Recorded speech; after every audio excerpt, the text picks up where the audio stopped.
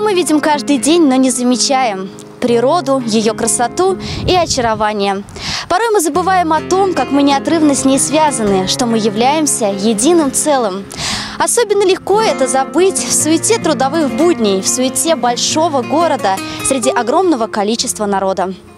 Порой простому городскому жителю хочется хотя бы на время стать жителем села и отдохнуть от цивилизации.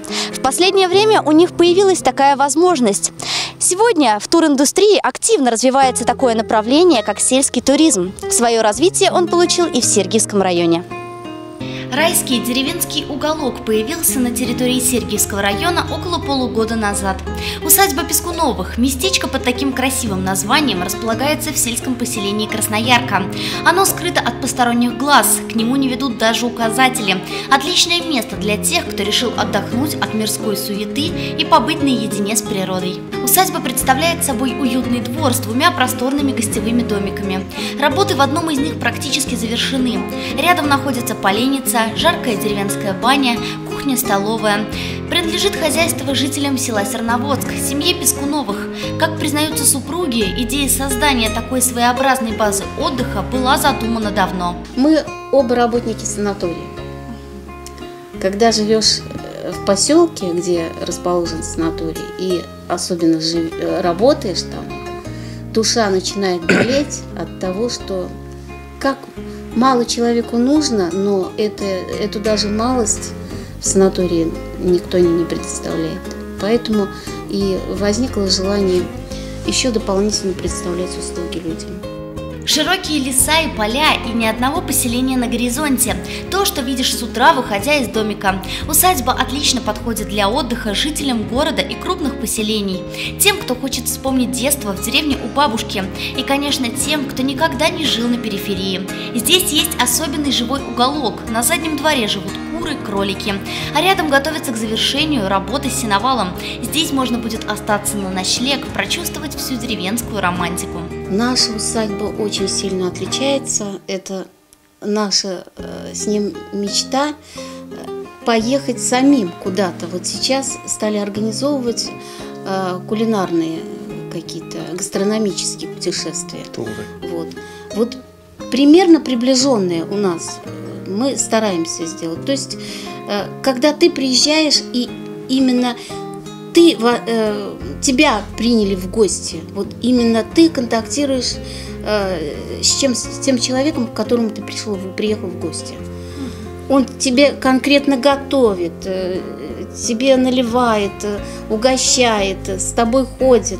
Ты с ним занимаешься тем же, что и какая у него жизнь, то есть и в огороде, и в быту, и как-то вот все Отсутствие массового скопления народа – то, что отличает усадьбу Пескуновых от прочих баз отдыха. Если турбазы больше подходят для вечеринки в шумной компании, то это место предназначено для тихого семейного отдыха.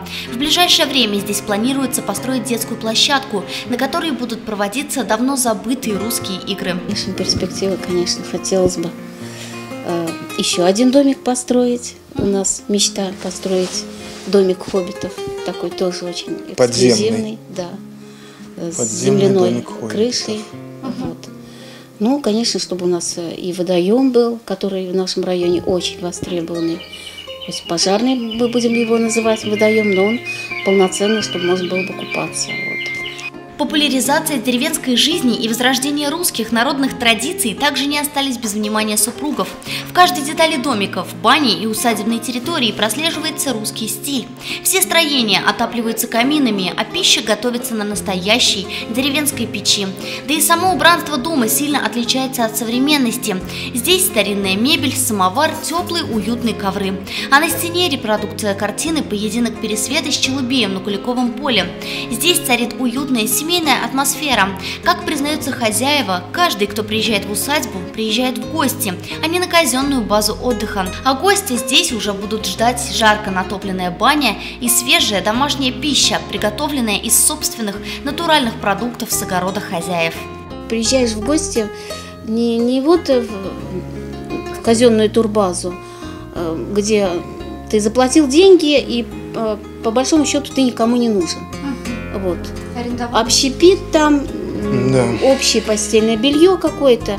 нет э, ни изюминки, ни запаха, то, именно того дома, э, куда ты приехал. Вот, вот это у меня с детства вот остается. Вот в маленьких деревнях, когда мы, я ездила к своей бабушке, вот я с удовольствием заходила в этот деревянный маленький домик, потому что это был свой запах, свой уют.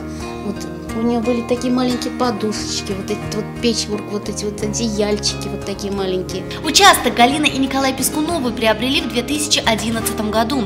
Сначала на свои средства, а в 2015 благодаря поддержке руководства муниципалитета приняли участие в конкурсе и успешно одержали победу. Выигрыш составил миллион рублей. Эти деньги ушли на построение маленького гостевого домика и бани. О местоположении усадьбы супругам долго задумываться не пришлось. Выбор был очевиден очевиден. Когда мы первый раз увидели, э, здесь в округе совсем ничего не было как-то.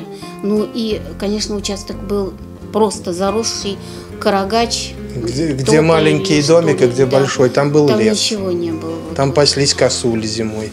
Да, но, но то, что э, вроде как в стране и в людях, э, вроде и поселок, но он уединенный. И вот прилегает сад заброшенный, вот у нас там дальше есть. И за нами вот лес-полоса. Лес Получается как свой лесок, как собственный. Вот, там грибы, там ландыши. Э, и мы влюбились в этот участок, конечно. Вот, судьбе благодарны. Гостей в усадьбе Пескуновых ждут круглый год. Любой желающий, вне зависимости от возраста, может приехать на деревенский отдых. Совсем юных посетителей здесь ждут маленькие кроватки, а все отдыхающие могут приобрести свежую, натуральную продукцию. Пожалуйста, мед, грибы мы сходим вместе, пособираем. Если э, нет возможности у человека ходить с нами, то, значит, мы э, Можем. продадим грибы угу. в любом виде, в сушеном уже консервированным. Вот. Э, потом э, на своем участке любая ягода у нас растет. Вот. Ну, естественно. Э, мы и вместе можем заготовки сделать, и овощные, и различные компоты, варенья.